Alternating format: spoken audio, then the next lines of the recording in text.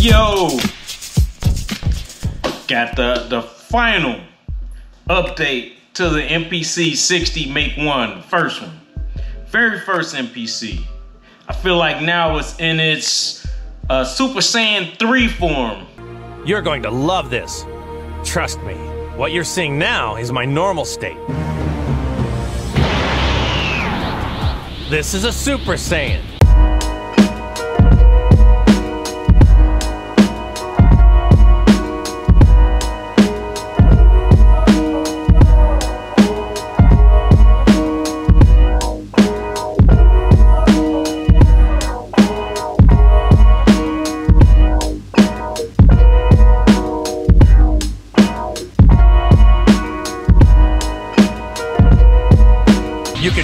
This a Super Saiyan 2.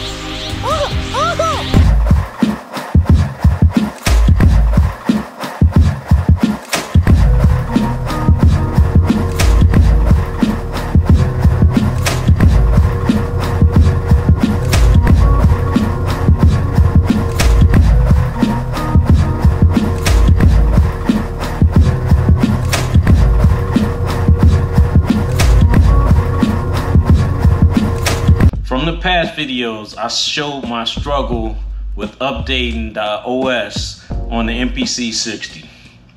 I bought the EEPROMs, like three different sets. Bought the 3.1 from Roger Linn. I bought two sets of 3.15. Every time I installed the EEPROMs, it wouldn't update or it wouldn't turn on. So a couple times I thought I bricked the MPC sent it off to repair shop. Sent it off there. Uh, i think they charged me like uh, what was it? They only charged me for the eproms actually to put them in.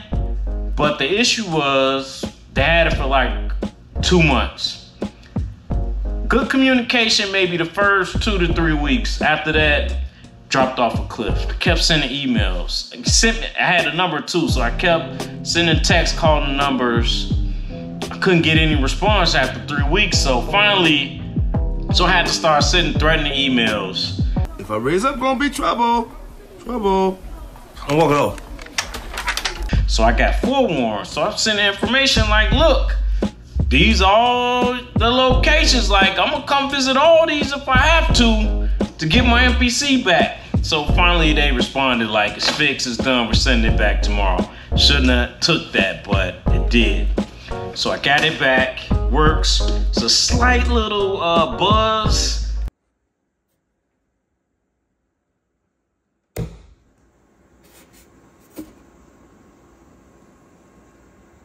I don't remember it being there. I have to go back and look at the videos. I hear that now, but it works. The 3.15 works perfect. And I feel like the MPC lost a little of the, the sauce that made it the MPC 60. Now, for all intents and purposes, it's an MPC 3000. It's just a slower MPC 3000. Got the extra memory, and now I installed the SCSI interface, and I got the Zulu, the Zulu SCSI that works in the back, and I added a Gotek to the front. I wasn't going to buy the, the Zulu SCSI. I was going to stick with the Gotek, but once I go to the 3000 or the 2000 XL, coming back to this, everything takes a long time. So just saving a sound, it could be a kick. Saving it to the Gotek or the floppy, it literally, I have to put a time on it. Takes like 60 seconds to save a kick. So saving a sample a three, four, five second sample takes like two minutes. So I I had to go away from the Gotek, and that's what made me buy the Zulu SCSI. I didn't buy the internal one; cost a little more. Zulu SCSI was like seventy-six dollars. So I got that part working. I added the the side panels, the wood side panels. It looks nice and refined. But I think I like the original look too. And I don't know if I've ever mentioned the actual the the armrest, the handrest, the leather handrest. Like this is very nice. I find myself leaning on this a, a lot, and this one is in very good condition.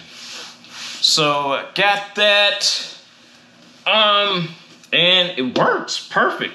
Like it's in perfect working order now. It's the final form.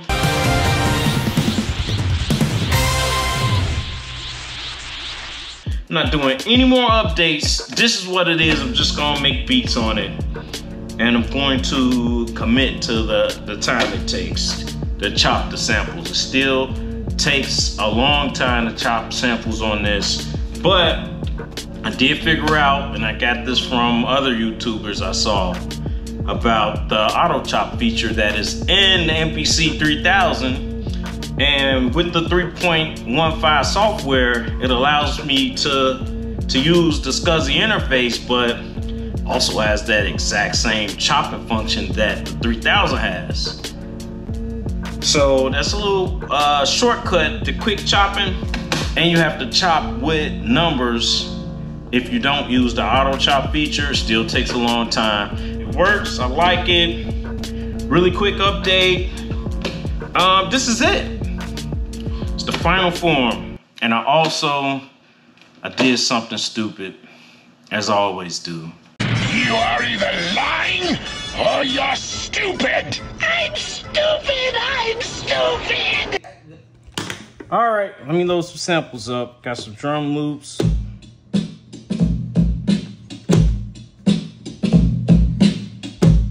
I thought these were two different loops.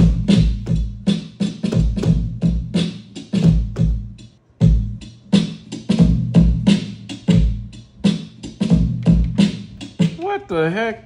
I know I'm gonna be running out of space any minute for if I add more samples.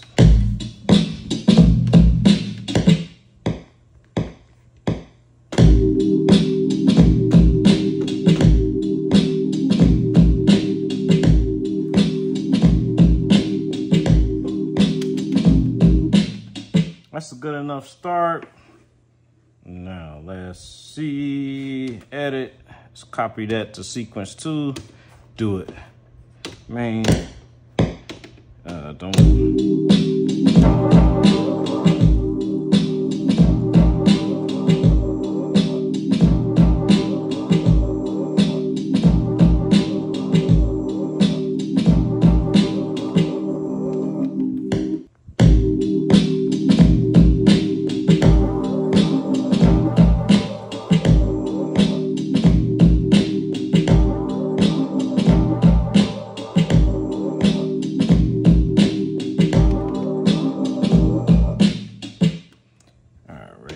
Sequence, edit.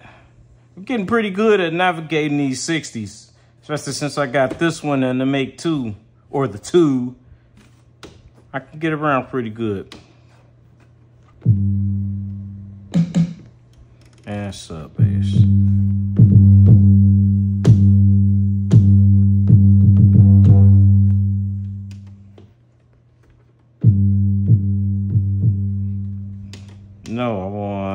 Tune. There we go.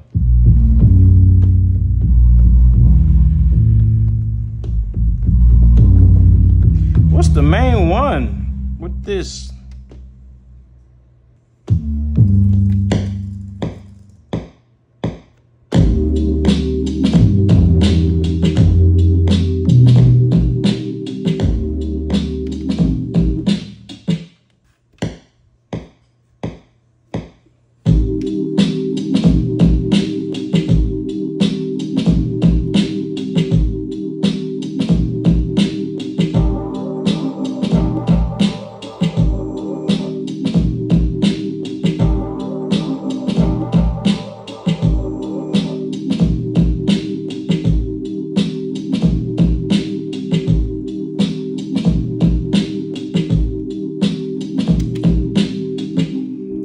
One with just the drum loop. All right, let's see if we can make a quick song out of that. All right, let's see what we got.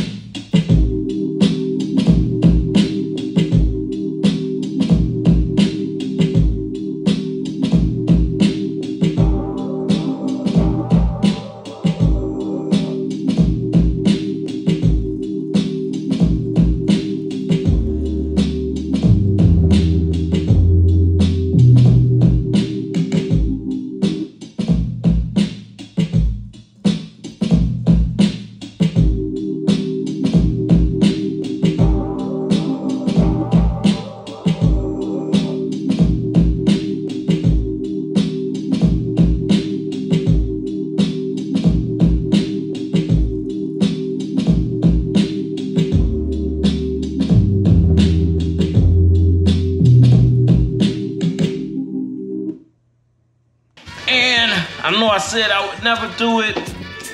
Bought the cash register. I have to be careful because I still have no screws in the top because I'm adding uh, the screen. Screen on this is very dim. So that is that. So I, I, did some more dumb stuff, y'all. So I'm gonna work on this one now. That one is final form, not touching it, just pulling it up to make beats on it. It's great, I like it. And, and I feel like I, I dragged this out way too long, longer than it should have been, in order just to get it to the point it's at, but it was a nice journey. I like the, the tinkering part. I enjoy the tinkering. So now I got the Make 2 or MPC 62 to worry about now. So the one, it'll be in a, in a prominent place on my desk, but I still prefer the 3000. It just does everything better, faster, smaller footprint, not as small as I like. The footprint that I like the most is the, the SP404, but um, working with those now. So final form, final update, MPC 60. Thanks for watching.